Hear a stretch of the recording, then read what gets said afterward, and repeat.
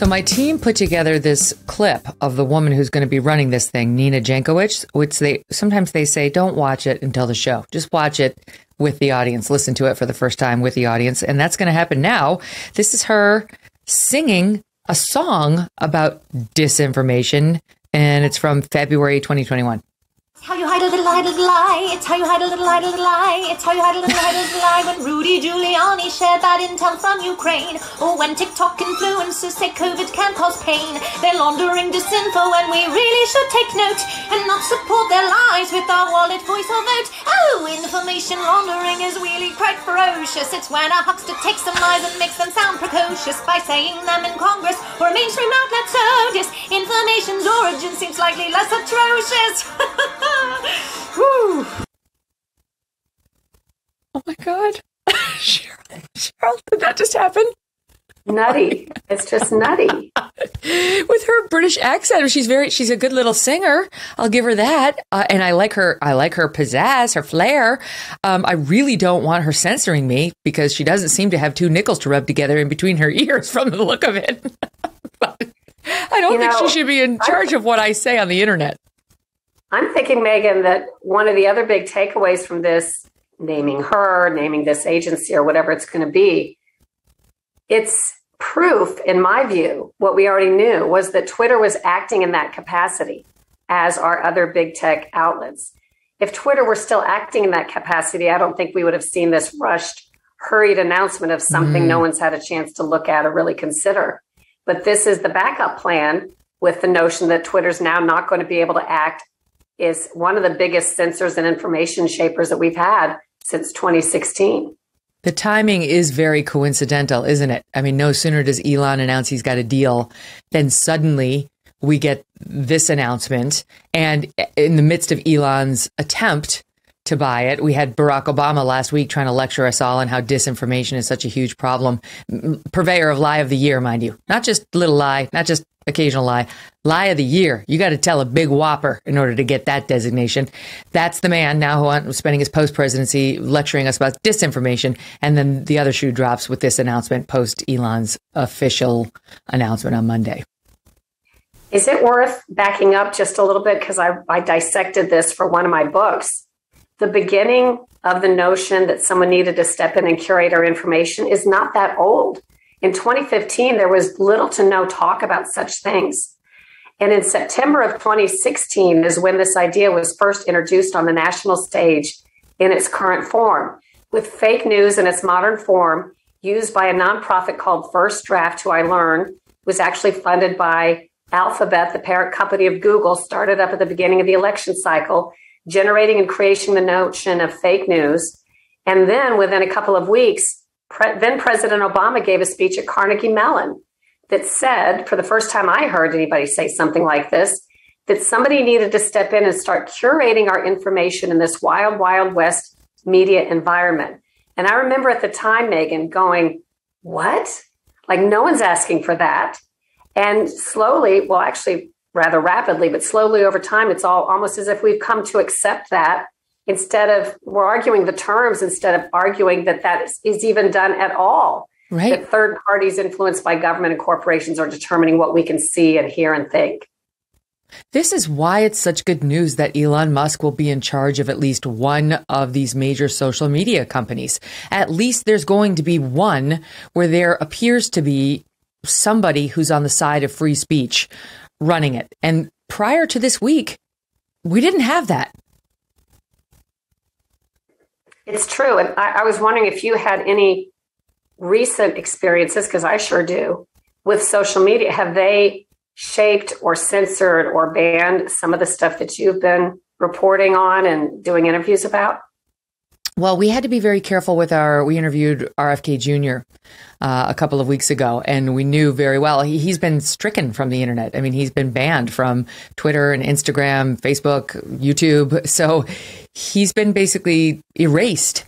So our goal was to get him on the air in a way that could live, right? We didn't, it was pointless for us to do an interview with him that would then just get banned. You know what I mean? Like that, that's pointless.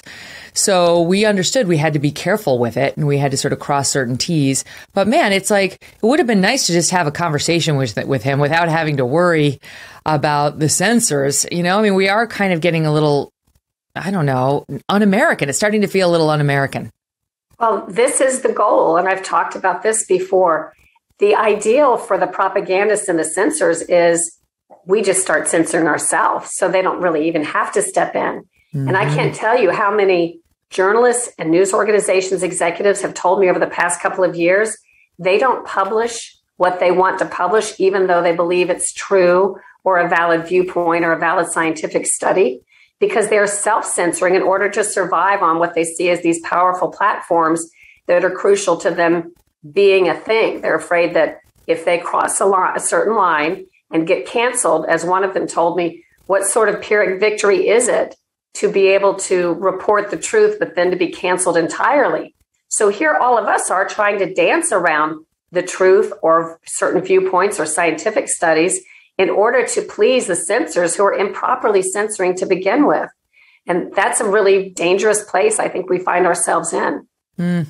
Um, my team is reminding me RFK Jr. is on Twitter. It's the one platform he's been allowed to remain on. You know, one of the things that we did to sort of keep the interview up was to put a bunch of links to the CDC, the WHO, all that, you know, at the end of our interview on YouTube. Honestly, Sharyl, I don't care. It's like that doesn't bother me. A lot of our audience was like, oh, what's that doing there? You know, those organizations have lied to us from the beginning. Agreed. I know that. But to me, it seems like a small price to pay to get your interview posted and and to have it remain up on YouTube. I don't own YouTube. I don't have a right to be on YouTube. YouTube has every right to shut me down and say, I don't want you on here. It's not pleasant. I don't want it. I would consider it viewpoint discrimination, but they have every right to do that. So if they're basically going to say, you can put on this guy we think is part of the disinformation dozen, um, and it's it saves my interview to throw a couple links at the end or you know sometimes they throw up the little for information on covid you know you see that at the underneath the the video. Go to whatever. I don't care. It's different that's different to me than what you're talking about though where you actually don't ask the tough questions or you steer clear of the third rail subjects because you're afraid for good reason that they're going to shut you down. Well i agree but think about it. You and i both know and i do the same thing when we're posting CDC information, we are posting disinformation in some cases that we know is not true or is pr- mm-hmm. proven to be inaccurate or, or is put out by people who have been sorely misleading, if not entirely wrong. And I've done some expose. I don't know if you interviewed Congressman Massey when he caught CDC and top executives and scientists who he recorded on the phone admitting that they were putting out false information about COVID vaccine being effective in people that had already had COVID. And they admitted this to him and then continued on. So you can only say this is an intentional intent to mislead. Went on to put out in public the same disinformation over and over again after they acknowledged it was untrue. And yet here we are then having to post links to these sources that we know are disproven for more disinformation. protect our ability to say things that we believe are true. Inflation is out of control, and one area we see it more than ever is in the grocery store. Even though grocery prices feel like they've doubled, Good Ranchers prices have stayed low and affordable. Once you subscribe, your price never goes up. Your best price is locked in for life. They sell 100% American meat and deliver it to your door for a great price. The problem is 85% of the grass fed beef in stores and online is imported. Shop Good Ranchers for all of your beef, chicken, and seafood needs, and you know you're buying American. Their beef is prime and upper choice, the two highest grades possible. They sell amazing steaks like ribeyes, T-bones, New York strips, and more. Get steakhouse quality at home with Good Ranchers. Good Ranchers takes the guesswork out of the meat aisle. Having them in your fridge makes mealtime easy, convenient, and less stressful. Plus, their packaging makes it easy to cook what you want and save the rest. Their animals are ethically raised and sustainably sourced. They do things the right way and it shows in every box. Go to goodranchers.com slash Megyn for $30 off and free express shipping. Goodranchers.com slash M-E-G-Y-N. Good Ranchers. American meat delivered. And if you don't buy the meat in your house, tell the person who does to check out Good Ranchers. Hey, thanks so much for watching. If you like what you just saw, hit the subscribe button for more clips and full episodes.